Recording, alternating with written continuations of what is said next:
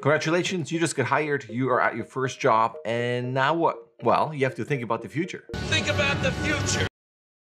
So today's FNA is all about a five-year plan. That sounds very ambitious. I even have a 10-year plan. But it's about thinking ahead. Now you get your job, you're enjoying it, but what are you gonna do next?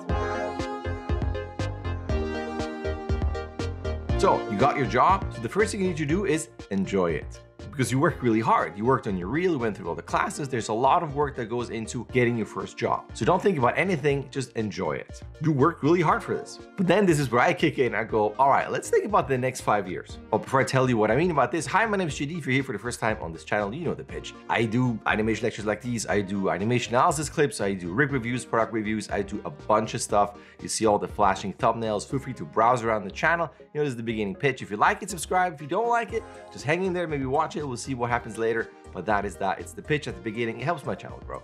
But let's get back to the points here. So everything I want to say here is going to be very subjective and very individual because it really depends on who you are, where you're at, your financial situation, your goals, your dreams. Just there's so much where everything I'm saying, there might be maybe one out of 10 notes to go, ah, yeah, or all of them. I don't know. But it's just there as a information dump and you can pick and choose, you can comment, like whatever we can come up with to go, this would be an interesting list to pay attention to as you move forward with your career. So you started at your new job, you love it, you're animating. So now you have to kind of shed the idea of, well, maybe I'm not good enough, gotta work really hard. Just ignore all of that. Let's pretend you're awesome. You probably already are. I mean, but pretend you're gonna be even more awesome, right? Everything's gonna be awesome and you can stay there forever. Like that is your possibility. You can stay at this company. Now, is this something you want to do? Because you might get into a company or whatever job you have in terms of animation and you love it, but you know, I'm to be there for a couple of years and then I will make the choice to go somewhere else and then learn something else, make other connections, work with different company, different style. So again, you don't, there are different paths. You can stay at a company if that's the possibility, or you can also decide you just switch around. Again, if that's a possibility. Everybody's to comment like, yeah, but I don't have a choice.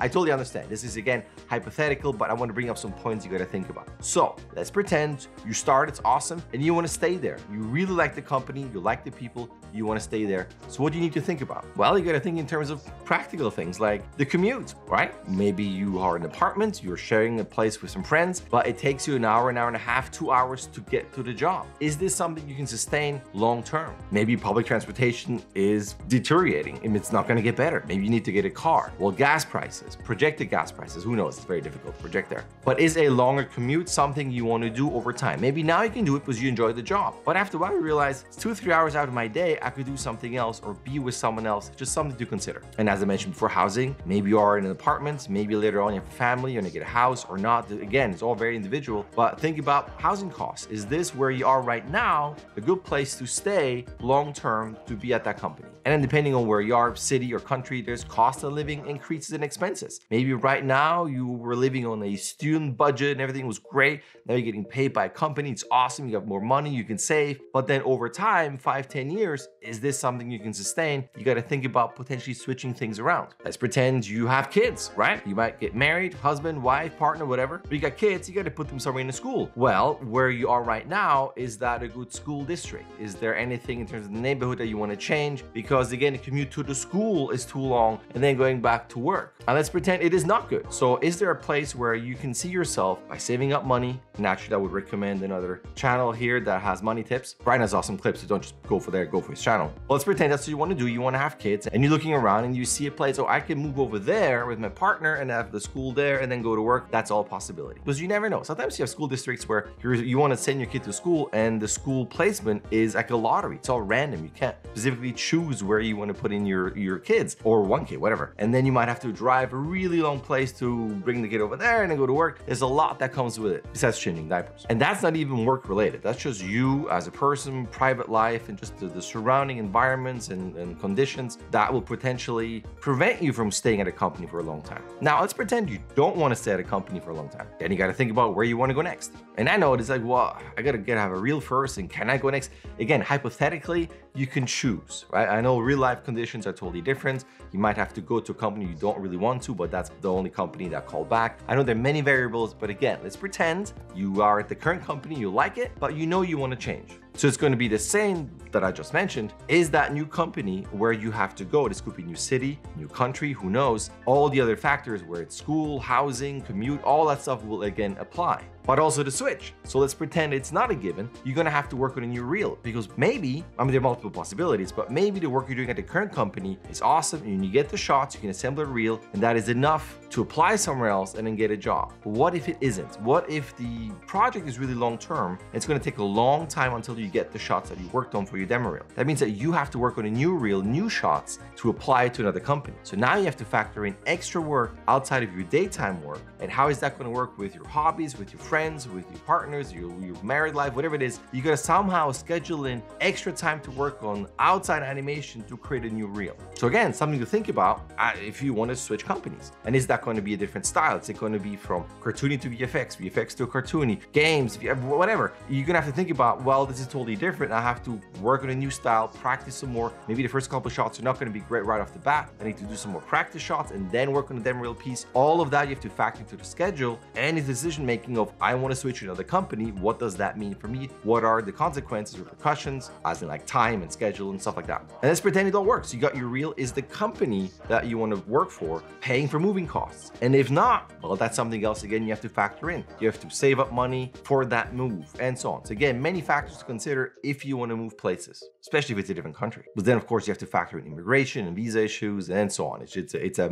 massively big topic. Now, the positive though about switching, again, if that's your choice and you're flexible and you can go about that, you will potentially have the opportunity to raise your salary. As you switch between companies, again, if that is something you can do, the more you switch, the more experience you gain, you new tools, new styles. It's just you're getting better and better. And it is an exchange of services at the end of the day, even if we love the job. So as you switch, there's a possibility that your salary goes up and up and up. Versus if you stay at one company for a long time, it's probably going to be a slower ascent into whatever career ideas you have in terms of titles or financial situation. Well, let's piggyback on that. So let's pretend you do want to stay. I found the company I want to work for. I'm in, I'm enjoying it, I'm loving it. So now you got to think about, okay, what does it look like in five years? And I got a 10 year thing, but that's really crazy time. So let's pretend five years. And again, it doesn't have to be five years, obviously, right? For you, it could be two years, three years, seven years, who knows? I just, I'm just picking five. I know it's, it's, a, it's a number, but think long term. So I'm there as an animator. If I want to stay there for a longer time, do I have aspirations to become a lead animator? Or a supervising animator. And what does that mean? So then you have to look at what are other lead animators and supervisors at that company doing?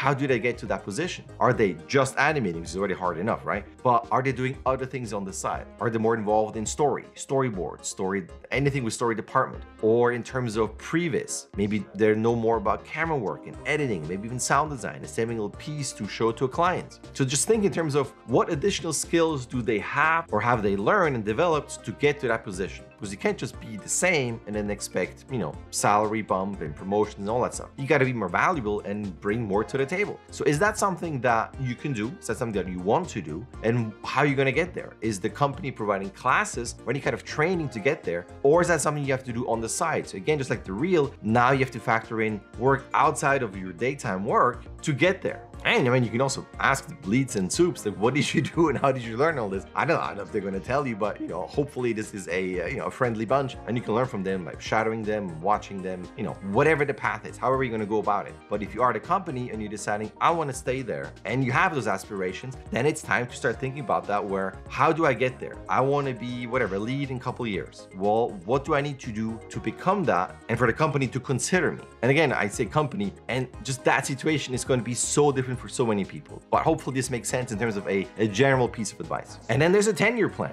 which I know it sounds bananas. I mean, nowadays, do people stay for 10 years? But I mean this in terms of what is your really long-term dream goal? Because 10 years could be, all right, well, I'm doing this job and I might have my eye on other companies. I want to switch around and gain experience and, and do all kinds of network. But long-term, 10 years, let's say you want to become a director, right? You start as an animator. Like, I, I like doing all this and I understand the process, but I'm more interested in story and really long-term. I want to animate and understand what it takes to, to animate and the process. And if I give notes, the amount of work it takes to do all this schedule-wise. But ultimately, ultimately I want to go into story and then into directing. And that is totally fine. Why not have a 10 year crazy goal? And it doesn't have to be crazy, who knows? And you can still roughly think about what you need to do to get to that point. What I understand is also totally ridiculous. I mean, in 10 years, so much can happen in 10 years. I mean, just look at how the world is now. Just within the last two years, things have changed dramatically. But why not? I would still think long term. You can think in terms of, I gotta save up money. Doesn't matter where I'm gonna end up, how windy that road is, I'm gonna still end up there because that's my goal. And you still have to learn additional skills to get there. So you might as well start now, or at least start thinking about how you're gonna get there.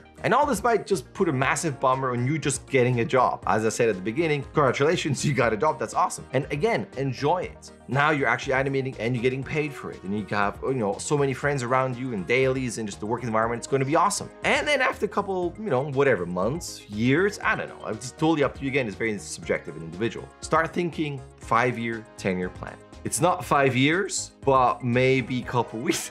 I'm trying to find a segue for my workshops. But if you feel like, well, that's all cool and I'm working my reel, can you help me work on the reel and give me other tips to get to my goal? Absolutely, I will do my best. I got workshops, link in the description with all the information. And again, it's not five years, but you get 16 submissions. So if you do weekly, it's 16 weeks. Definitely shorter than five years or 10 years. But hopefully something you're interested in. Again, let me know, email me. And that is that. That is the end that I'm checking here. It's a bit of a long, rich clip. So thank you for watching. As always, till the very end. I appreciate your patience. And that is that. Thank you for watching, and I'll see you in my next upload.